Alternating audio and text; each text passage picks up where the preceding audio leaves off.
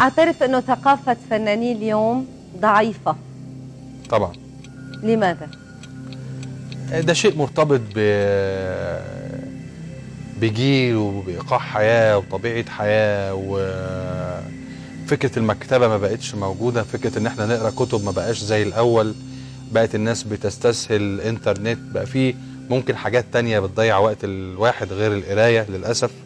فبقت فكرة القراية مش موجودة وده هتلاقيه منعكس بشكل ما أو بآخر حتى على آه، حجم أو كمية المؤلفين لو هتكلم على الشغلانة بشتغل فيها كمية المؤلفين الموجودين هم أقل من زمان.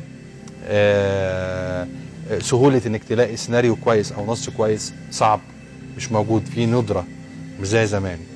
ف الثقافة قلت وفكرة الكتاب قل. أنت بتقرأ؟ أنت شخص بحاول إن أنا أقرأ بحاول إن أنا آه، ما بقاش بعيد عن القراية خالص آه، فبحاول إن أنا أجيب روايات وكتب وحاجات ليها علاقة آه، أكتر بالفن. يعني بحب أقرأ في فن الإلقاء بحب أقرأ. طبعا كنت في المعهد كان واحد عنده مساحة طويلة جدا من القراية سواء مطلوب منك إنك تعملي أبحاث أو نظريات أو تقري ودي من المزايا اللي موجودة في المعهد ان تخلي واحد يقرأ. كذلك كان الأستاذ نور برضو بيحسنا دايما على الثقافة.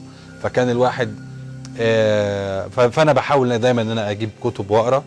آه، بدأت دلوقتي أحب إن أنا أقرأ ممكن في مجالات تانية. يعني عايز أبدأ إن أنا آه، أثقف نفسي في مجالات تانية. يمكن دلوقتي بقى شوية سهل بالنسبة عايزة تقري موضوع معين بتدخلي على الإنترنت تكتبي حاجة معينة فتلاقي ال- ال- الموضوع تفاصيل ومضمونه موجود. آه غير ما تقعدي تقري كتاب كامل كده يعني.